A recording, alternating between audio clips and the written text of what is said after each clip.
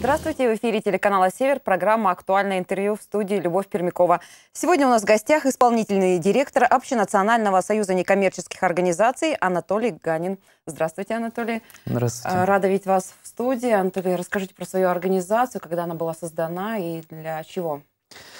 Общенациональный союз некоммерческих организаций создан в 2016 году, и мы объединяем некоммерческие организации, наиболее активные из всех регионов России.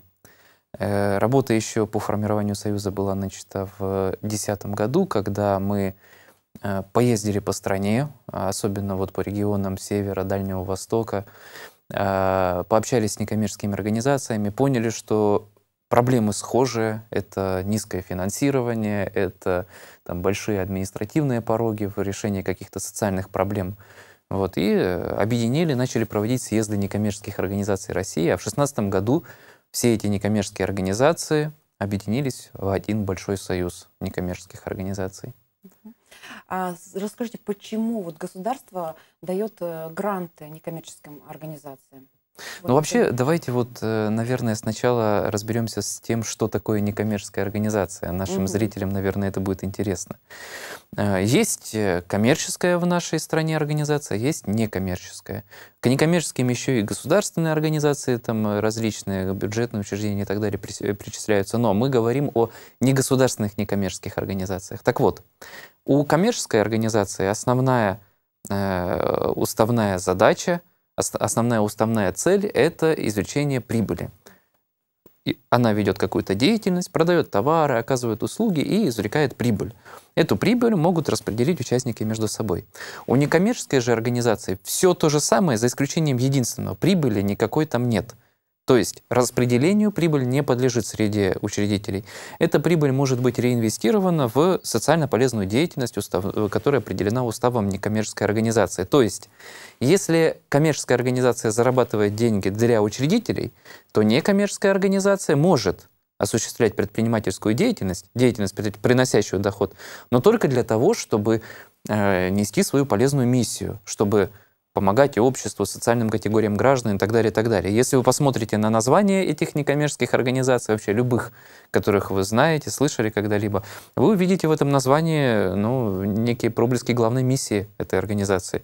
И это то, на что организация направляет, направляет все полученные деньги в виде субсидий, грантов, э, в виде э, там, э, деятельности, которая по социальному предпринимательству, принесла доход организации в виде пожертвований. Вот все эти деньги направляются на уставную задачу, основную деятельность организации. Так вот, про гранты. Гранты — это только лишь один источник финансирования некоммерческих организаций. В развитых странах, э, таких как Штаты, Евросоюз, там некоторые страны, э, доля участия некоммерческих организаций в ВВП страны, в общем обороте всех денег и имущества и так далее, составляет более 10%. Это там, где уже социалка развита, где людям, в принципе, хорошо, где за ними ухаживают, стариков не бросают, там, детей и так далее, и так далее, э, там, больным помогают, где бездомным помогают и так далее, и так далее, где построена социальная, вот это вот, вы, четко выстроена социальная задача государства. Там уровень доля э, вообще всех оборачивающихся денег в некоммерческом секторе более 10%. У нас в России пока это чуть больше 1%. Поэтому задача Союза – это как раз-таки до 2024 года довести долю э, всего бюджета совокупного некоммерческих организаций до 10% ВВП. Это по-нашему э, отразится кардинально на социальной ситуации в регионах, в, на местах, в селах, в деревнях и так далее, и так далее. Вот, поэтому вот такая вот стратегическая задача. Итак, к вопросу вашему. Зачем э, некоммерческим организациям гранты? Вот смотрите, если э, у бизнеса опять же таки, бизнес тоже получает гранты, и это нормально. Гранты — это способ э, некий поддержать некоммерческие организации, да и люб, любую государственно важную приоритетную задачу государством. То есть государство выделяет, определяет направление, допустим, э, в вашем регионе э, актуально направление социальной защиты граждан, допустим, пожилых. И вот государство определяет вот этот приоритет – объявляет конкурсный отбор проектов. Некоммерческие организации, там, различные формы э, начинают подавать свои проекты и предложения, как вот эту вот социальную проблему можно решить. Но дело в том, что Тут можно возразить, конечно, наш зритель может сказать, что, э, слушайте, так государство и так решает эту проблему. У нас есть дома престарелых, у нас есть там э, различные меры поддержки э, пенсионеров, ветеранов и так далее, и так далее. Да, есть, но смотрите, социальные проблемы, они вообще у нас в стране, да и везде в мире, они имеют фрактальную природу их можно до бесконечности детализировать, и какие-то новые проблемы появляются, новые ответвления проблем и так далее, и так далее. Следовательно, есть бесконечное количество социальных проблем, с которыми, допустим, э, какие-то зрители не сталкивались и никогда не столкнутся, а какие-то сталкивались. Там, да? И вот получается, что некоммерческие организации, они выявляют социальную проблему, им дешевле всего это сделать, потому что государству, чтобы чего-то поменять в своей структуре, там, в огромной, огромной сети социальных центров, либо там домов престарелых, это нужно огромный бюджет на это направить. Нужно переписать у всех госзадания, необходимо э, перекроить бюджет, на Совете депутатов там пересогласовать его и так далее, и так далее. Минфин должен выкроить какие-то там, сделать свои э, предложения дополнительные, откуда забрать, чтобы здесь прибавить. И, э, и вот, вот тестирование любой социальной идеи, оно для государства в рамках своего государственного аппарата большого, неповоротливого, оно очень дорого стоит. И поэтому государство говорит, что я готово протестировать э, социальную идею, вот дав некоммерческой организации небольшой грантик, и посмотреть, как оно, пойдет или не пойдет эта идея, будет ли решаться проблема социальная или нет, тем методом, который предлагает некоммерческая организация. И если будет, то тогда второй этап, хорошо, государство готово внедрять уже в э, поэтапно внедрять, тиражировать сначала, а потом и внедрять в деятельность э, своих государственных учреждений. Может быть, это госзаказ будет, допустим, на какие-то формализованные виды социальных услуг.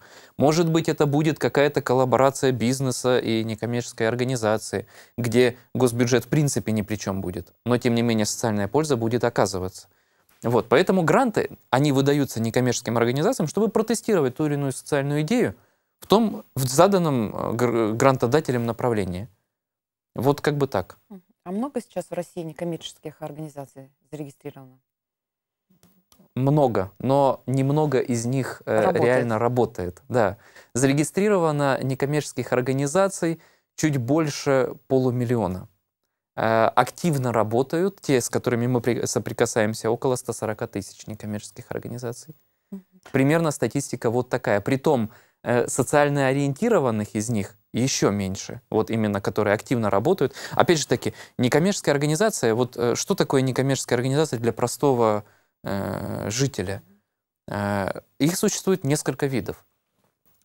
Допустим, э, ну, вы хотите поставить лавочку в подъезде, и, в принципе, подумали так, что э, вы готовы даже скинуться на эту лавочку в подъезде, ее э, купить э, на вот эти вот деньги, э, на которые скинулись все жители, и поставить. Вот смотрите, можно, конечно, просто это э, там собрать денежки и поставить лавочку. Но если вы создадите некоммерческую организацию, а она очень просто создается – и проведете это через нее, оформите в виде проекта, то вы можете еще государственные деньги получить на, на, на еще 10 лавочек таких Надо же. Надо уметь писать да. красиво проекты. Нужно, нужно, ну не то, что красиво уметь писать, нужно, ну, на, на самом деле самое первое, это надо, надо реально уметь делать, что заявляешь, да? Это вот проблема у нас в России, в принципе, э, такая очень часто встречается, когда люди чего-то заявляют, а делать не умеют. Угу. Вот это про уже человеческое качество по большей степени. Но если э, лавочки мы умеем ставить, и люди готовы, в принципе, они понимают, что это надо, реально надо поставить эту лавочку в этом подъезде, либо покрасить стены забора в школе, там, и так далее, и так далее, на то, на что не выделяется напрямую бюджетные, бюджетные деньги, то, соответственно, вы можете оформиться в некоммерческую организацию. От некоммерческой организации вы можете подать грант подать грант. Э, ваша, ваша администрация проводит там 3-4 конкурса грантов для некоммерческих организаций в год. Еще муниципалитеты проводят кучу разных грантов. Еще э, проводят корпорации, которые у вас же наверняка присутствуют, крупные корпорации. Так вот, у них у всех есть гранты на э, социальное развитие точек своего присутствия. И вкладываются большие деньги. Можем мы можем понять мотив, почему это делается, естественно, потому что э, той или иной большой корпорации, либо градообразующему предприятию проще профинансировать социальную обстановку в, там, в городе своем, нежели в пять раз больше платить зарплаты за то, чтобы mm-hmm. человек приехал из другого региона сюда, переехал, всю семью перевез и так далее, и так далее. Понимаете, да? Есть большая разница. Поэтому э, корпорации вкладывают там 100, 200, 300 миллионов в то, чтобы социальная, социальная защита населения работала в этом э, городе правильно, чтобы там старики ни в чем не нуждались, чтобы молодежь воспитывалась правильно, чтобы патриотизм там развивался и так далее, и так далее. Есть э, целые, целые, вот они прям прописывают конкретное направление, они вот посидели, подумали, там, э, что реально влияет на их экономику на самочувствие того самого человека, который у них работает за эти деньги, которые сейчас ему платятся. И поняли, что если будет плохая социалка, будет плохой климат, мусорки везде будут валяться там, э, и, и дети будут в подъездах курить, то значит э, человек не готов будет остаться даже за большие деньги в городе, да? Поэтому и создаются некоммерческие организации, которые занимаются территориальным развитием. У себя на районе там делают конкретные полезные дела, в селе, в городе. Вот. Плюс еще есть такой законопроект, ну, в принципе, он уже обкатан на ряде регионов, это инициативное бюджетирование, когда граждане объединяются для чего-то, для того, чтобы какое-то э, совершить действие, какой-то проект реализовать, который отразится, там, допустим, на благоустройстве района, либо там э, города. Вот. И э, собирая определенное количество денег между собой и заявляя об этом бюджету, бюджет еще 80% сверху докидывает на этот проект. То есть, по факту, вот посмотрите на это, э, ну, может быть, я немножко сложно скажу, но посмотрите на это интересами, глазами государства. Ведь можно, э, для нас это как бы, для, я сам э, в не таком далеком прошлом житель деревни, там родился, жил, и, и я понимаю прекрасно цену денег, э, да, и для нас, вот, для простых людей, э, можно, э, конечно, сказать, там какие-то 100, 200, 300 миллионов, это, это огромные деньги. Ну да, оно так и есть, они огромные деньги. Но что значит для государства эти 100, 200, 300, до бесконечность миллионов, выделенных на развитие внутри территории? Для государства это э, повышение потребительской способности собственных денег. Ведь если люди не будут э, ни, никак тратить деньги, ни, ниоткуда не получать и никак тратить, то спрос на рубль внутри нашей страны упадет. Поэтому, вкладывая в социалку, государство тем самым э, оно не тратит деньги, а их наоборот зарабатывает для себя. Но только если там будет, будет исключена коррупция, будет прозрачность и так далее, и так далее. Да, понятно, если все-таки э, там из 90, из 100% денег выделенных 90 уходит непонятно куда, то, конечно, это не так эффективно отражается на экономике. Поэтому государству и, и крупным корпорациям, в том числе, выгодно тратить на социальное развитие территорий. Mm-hmm. Это их прямая выгода. Это, это, э, это как, когда они платят на это, расходуют деньги, то у государства они не тратятся, а наоборот появляются у них появляется социальная активность граждан, у них появляется экономическая активность, потребительская активность и так далее, и так далее. Ну, ответил, наверное, широко Понятно, на вопрос. у людей есть идеи, но они порой не знают, как их э, преподнести, да, где научиться вот, написанию гранта можно проекта?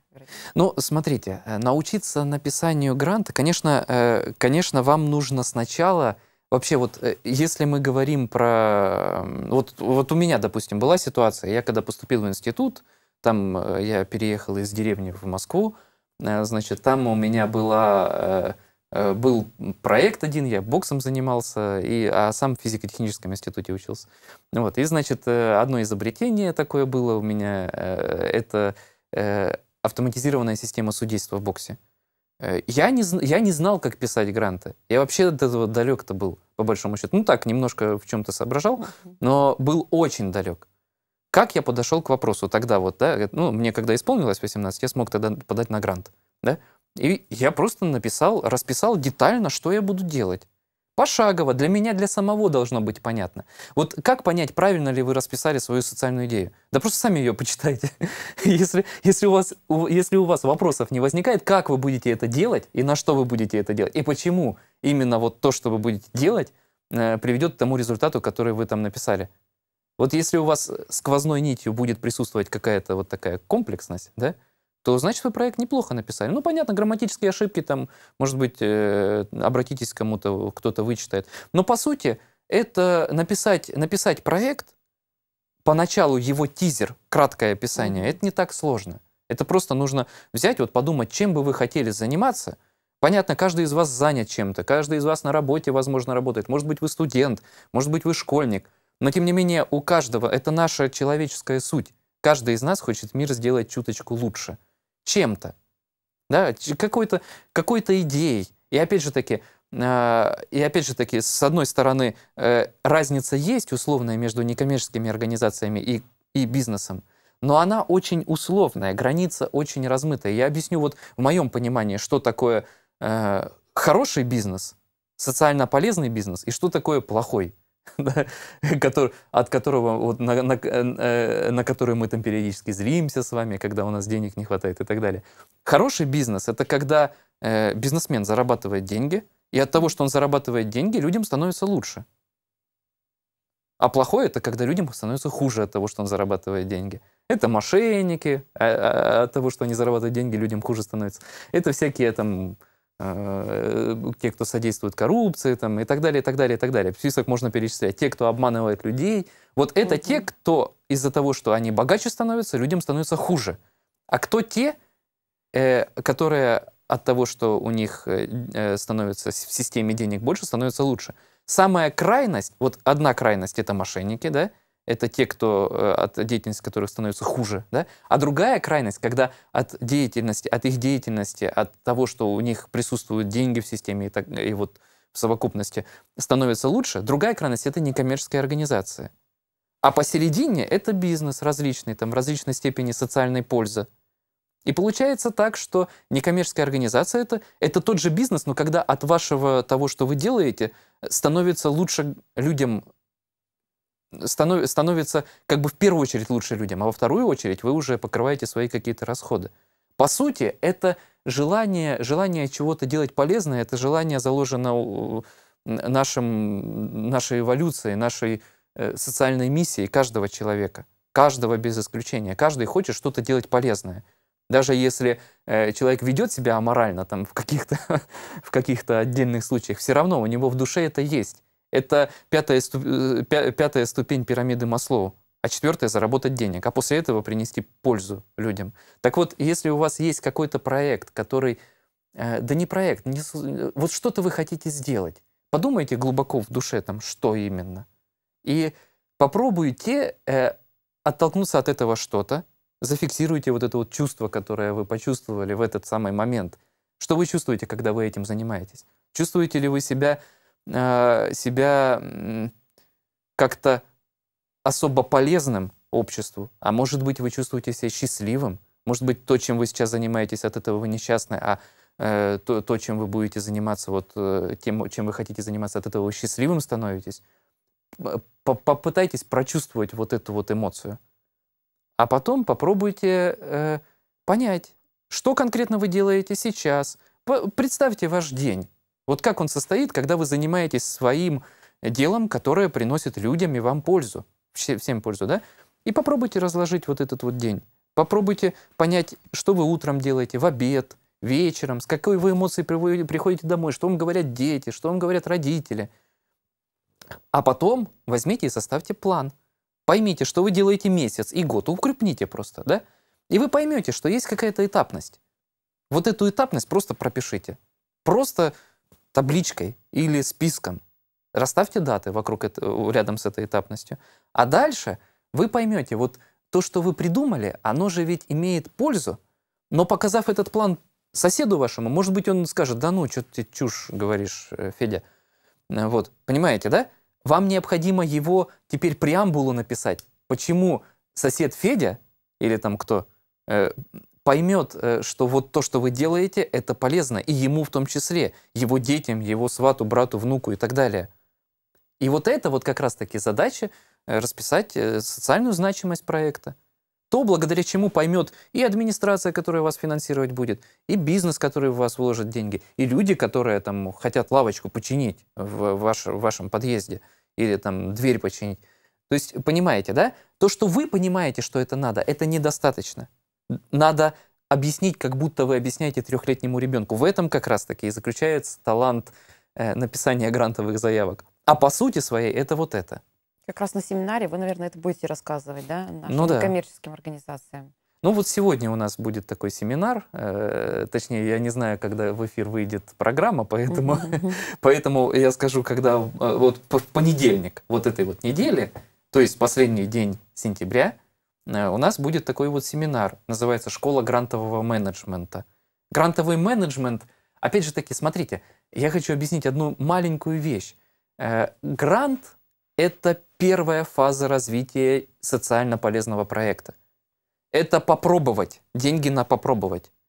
Есть и другие фазы, которые потом вас, возможно, приведут, э, я не знаю, в должность мэра вашего города, либо, может быть, губернатора вашего региона, или, может быть, еще куда круче, либо в совет депутатов. Опять же таки, поймите правильно, мы, при- мы привыкли относиться так, что это вот они, да, там совет депутатов, ЗАГС собрание региона, губернатор, а вот они мы на земле работаем, да, и это как бы совсем разное. Может быть, даже мы думаем, что вот, вот э, губернаторы и там э, ЗАГС собрание, это, э, может быть, даже инопланетяне какие-то, они совсем разные, да? Но по сути-то своей, я вам скажу, мы и они, и мы, у нас общая, общая задача, общая, э, общая миссия. И по большому счету вы только потом поймете. Сейчас вы скажете, да ну, Анатолий какую-то пургу гонит там, да, популизмом занимается. Нет. Вы попробуйте что-то полезное сделать, вот такое вот, не критикуй. От критики только вам будет хуже. Мне-то никак не будет, и губернаторам тоже никак. Поймите правильно. Э, Если вы критически относитесь к тому, что я говорю, то хуже только вам. И все. И получается такая ситуация, что э, вот если вы попробуете что-то сделать такое полезное, социально полезное обществу, и подойти к этому системно, а не просто что-то сделав там, да, а описать это, преподнести правильно, составьте группу в соцсетях, может быть, на эти темы, а может быть, напишите статью по результату, а может, придите вот сюда на телевидение и что-то и договоритесь о том, что вы э, про какой-то свой проект расскажете. И вы увидите, отношение поменяется. Потому что вот эта граница, она э, граница активности вашей, осознанной активности. Вообще это граница осознанности в принципе. Человек чем отличается от э, других э, живых организмов у нас? Осознанностью.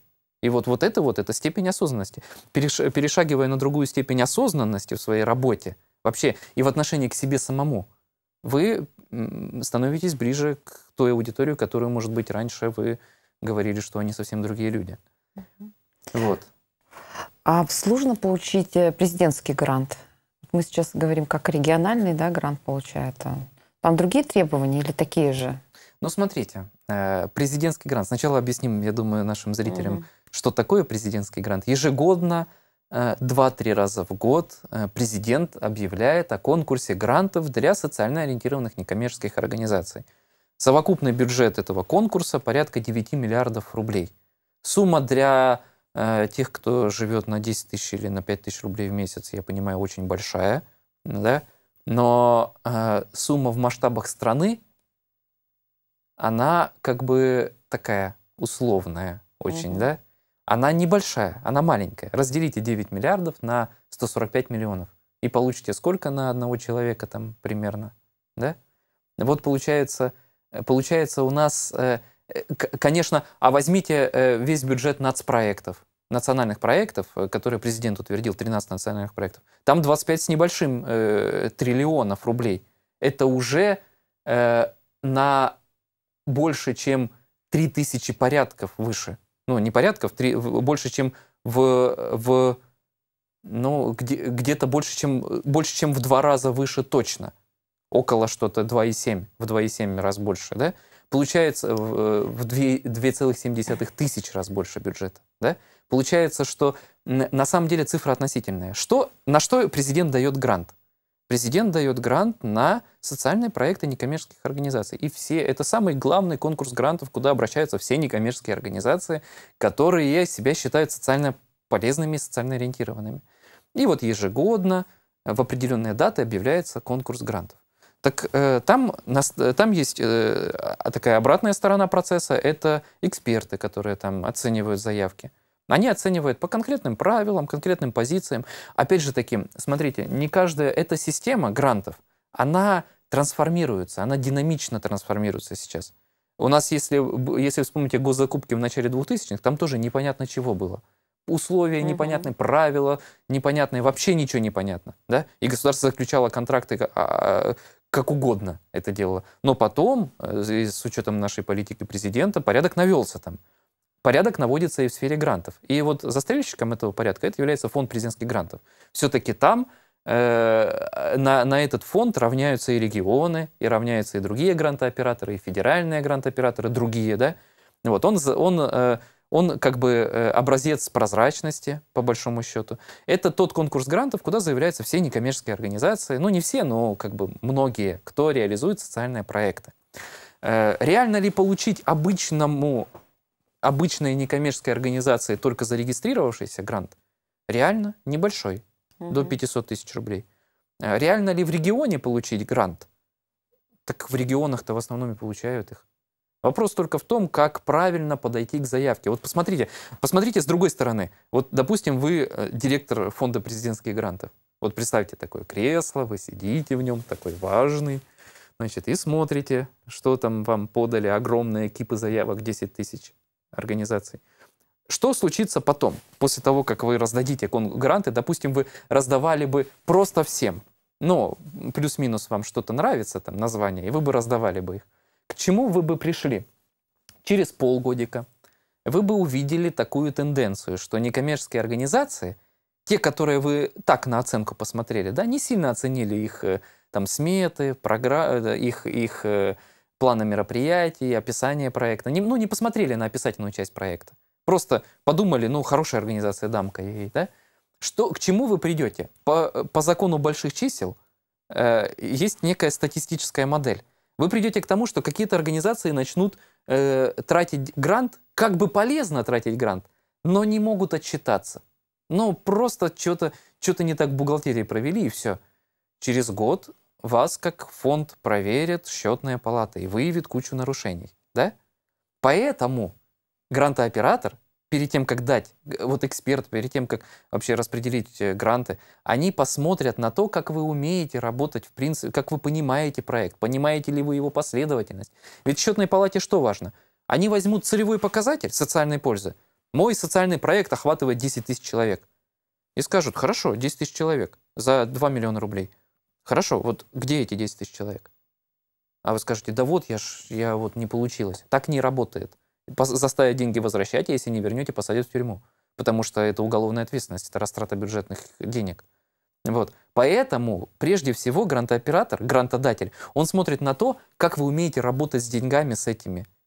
Потому что хуже станет вам в конечном итоге, не ему вообще-то, а вам. Ему опосредованно хуже станет. Единственное, что он с вами должен будет делать, это судиться, понимаете, да? Поэтому у вас обратная здесь ситуация. Вы должны посмотреть, Грант-оператор смотрит, насколько вы работаете умеете с бюджетом, насколько у вас правильно выстроена цель проекта, насколько вы, э, ваш план мероприятий гарантирует достижение целевого показателя и насколько ваша смета проекта гарантирует выполнение этого плана мероприятий, который вы написали. Может, вы там написали смету про одно, а план мероприятий про другое, и, следовательно, вы его не выполните, какой бы вы хороший человек ни были. И потом еще эксперт посмотрит, а точнее он, может быть, в самом начале даже посмотрит, насколько вы четко цель поставили проекта. Насколько там понятно, что этот проект, он важен именно сейчас. Там я понимаю, что э, э, психологическая адаптация э, людей, э, колонистов Марса, э, это очень важная задача, но она потом наступит, когда мы колонизируем его. На данный момент социальные задачи другие важны. И их нужно, и поэтому ваша задача еще описать социальную проблему. Вот, и есть разные технологии, как это делать. Все-таки там не до конца, есть рекомендации, вы можете посмотреть их, но там не до конца прописано, а, а, допустим, а, э, некоторые такие вещи, некоторые фишки, они могут очень четко поставить, продиктовать эксперту правила, по которым, вы, по, по которым он будет смотреть вас, ваш проект. Но опять же таки, это уже высший пилотаж. Там вам уже реально нужно разбираться в этом. Но вы скажете, э, допустим, что э, ну, какая-то, какая-то, э, какой-то бред. Получается, мы вместо того, чтобы делать дела, должны заниматься писаниной. Ну, как бы и да, и нет. Понимаете? И да, и нет. Почему, почему и да? Да потому что, ну, да, все-таки все э, бывают люди талантливые в своей сфере, которые, которые умеют, допустим, врач умеет лечить, но он не умеет писать, допустим, да? Вот то же самое может и в вашей сфере быть. Но э, у врача есть директор больницы, который умеет э, следить за финансовыми потоками. Почему это важно? Да потому что в конечном итоге, дав вам грант, органи... вы, вы сами, взяв его и не умея работать с бюджетом, рискуете попасть. Это опасная достаточно вещь. Поэтому вам нужно уметь работать с бюджетом. А как понять эксперту, умеете ли вы работать с бюджетом? Да очень просто, посмотрите вашу заявку. Спасибо большое, очень много полезной информации сегодня. Я думаю, услышали наши телезрители, те, кто, у кого есть идеи, те, кто занимается некоммерческой организацией. Будем рады видеть вас Спасибо. в студии. Приезжайте снова к нам в гости. Напомню, это была программа «Актуальное интервью». Сегодня у нас в гостях был исполнительный директор Общенационального союза некоммерческих организаций Анатолий Ганин. Встретимся в эфире.